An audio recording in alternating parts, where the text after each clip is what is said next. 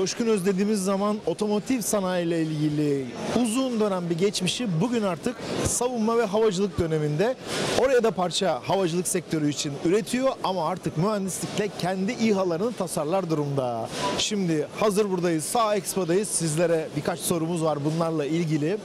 Ee, öncelikli olarak havacılık için parça üretimi. Siz yanlış hatırlamıyorsam Bursa merkezli bir şirketsiniz ama e, tam olarak parça üretimini nerede yapıyorsunuz? Evet, şöyle kısaca şöyle bir giriş yapayım ben. Biz 70 yıllık bir sanayi şirketiyiz. Ağırlıklı otomotivde faaliyet gösteriyoruz. Otomotivden sonra şimdi havacılık, savunma derken İHA'lara doğru evrilmeye başladık. Tabii geleceğin trendini ve e, teknolojisini yakalamaya çalışıyoruz. Bu konuda da e, yoğun bir gayretimiz var. E, İHA tarafında iki tane ana ürünümüz var bizim. Hedef uçak ve çok yönlü e, izleme ve gözetleme faaliyetleri yapan artı 5 kilo 10 kiloya kadar faydalı yük taşıyan e, İHA'larımız var. Bunlarla hem savunma tarafında hem de e, sivil tarafta faaliyet gösteriyoruz. İHA'larınızı anlatırken tabii e, sormak istiyorum size. Şu an iki ürün var. Evet. Gelecekle ilgili ne planlıyorsunuz? Çünkü İHA dediğimiz zaman devasa birkaç tonluk araçlardan çok ufak araçlara kadar inanılmaz bir portföy ve çok çok farklı alanlar var. Evet. E, Coşkun olarak neleri hedefliyorsunuz ve hangi pazarları görüyorsunuz? Şöyle e, bu e, bizim İHA grubumuz İHA 2 dediğimiz bir segmente tabi. Yaklaşık 55 kilo yani 25-55 kilo yani 25 ve 150 kilo aralığındaki İHA'lara segment 2 diyorlar. Biz de o segmentteyiz açıkçası. Bulut üstü, bulut altı farklı e, şeyler de var. E, ayrıştırmalar da var ama te- temel olarak kurgulanan bu. Şimdi tabii bu yeni bir sektör aslında. Ağırlıklı savunma sanayinde kullanılıyor. Otonom uçuş yapan insansız hava aracı olarak geçiyor ama bu pilotsuz değil, pilot yerde. Bu da uçak üzerinde değil. Ve otonom faaliyet gösteren e, sistemler. Tabii teknolojiyle beraber özellikle software kabiliyetlerinin ve hardware donanım kabiliyetlerinin gelişmesiyle beraber bu sistemler çok farklı alanlara evrilmeye başladı. Bizim ağırlıklı olarak yöneldiğimiz alandan bir tanesi sivil kullanım alanı. Yani diğer farklı endüstrilerde fayda yaratmak, çözüm üretmek, özellikle çözüm üretmek çok önemli. Çünkü İHA bir platform. Bunu anlamlı hale getiren üzerindeki kullandığınız sensörler bu bir kamera olabilir, bir radyasyon ölçüm cihazı olabilir ya da herhangi başka bir şey olabilir. Ve artı bu e, software kabiliyetle bunların işlenip anlamlı veriler hale getirip çözüm üretmek. Yani ne- olabilir bunlar? E, çok en basitinden doğalgaz petrol boru hatlarında e, farklı tehlikelere karşı, sızıntılara karşı, patlama riskine karşı ya da büyük yangın, çevre felaketine sebep olacak farklı etkenlere karşı önceden anlamak, tedbir almayı sağlamak ya da bir orman yangınını çok daha kıvılcım aşamasında hissetmek, lokasyonunu vererek büyük söndürme uçaklarının ya da helikopterlerinin doğru yere doğru noktaya o söndürme suyunu bırakmasını sağlamak gibi. Örnek veriyorum ama çok farklı kullanım alanı var gerçekten. En basitinden çok enteresan bir talep geldi Afrika'dan. Ee, bu safaride e, işte yabani hayvanların yani tabii büyük bir organizasyon yapılıyor orada ama hayvan nerede bilemiyorsunuz o yabani hayvanın hangi bölgede olduğunu.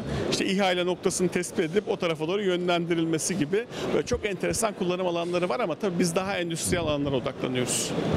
Bunlarla ilgili ara ara da e, haberlerinizi yapıyoruz. Çeşitli ihracatla ilgili adımlarınız var. İHA özelinde. Biraz onları da kısaca bir özet alabilir miyiz? Ya şöyle çok hani e, çok lansman henüz yapmadığımız bir şeyimiz var. İhracatımız olacak. Deneme uçuşlarını yaptık. Son derece başarılı oldu. Grönland'da tıbbi ilaç ve kan numuneleri taşımayla alakalı. İnşallah Ocak'tan itibaren bir yıllık kiralık orada bu hizmeti vereceğiz. E, umarım devamı da gelir. Öz olarak vereceksiniz. Ee, oradaki partnerlerimizle yapacağız açıkçası. Yurt dışındaki partnerlerimizle bu işi yapacağız ama uçaklar buradan üretilip gidecekler. Ee, dolayısıyla böyle farklı uygulamalarımız var. İnşallah hani belli bir aşamaya geçtikten sonra bunun lansmanını da yaparız. Ben tabii Şu an çok fazla bilgi vermeyeyim bu konuda ama çok değerli ve kıymetli bir iş.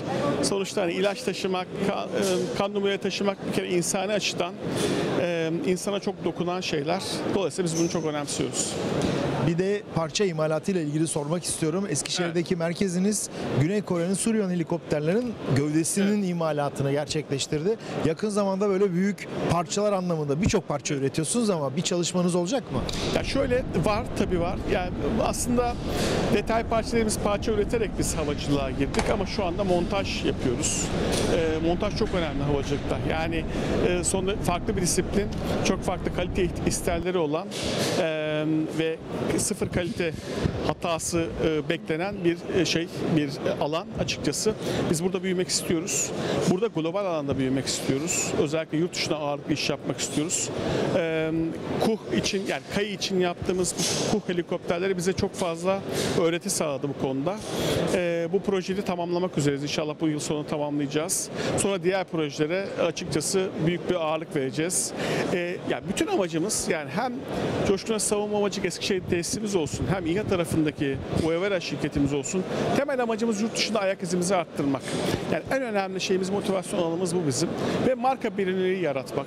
Ee, yani ben bunu çok önemsiyorum. Türkiye olarak da çok, e, ülke olarak da çok değerli bir şey. Marka yaratmak kolay bir şey değil ama çok büyük bir ihtiyaç.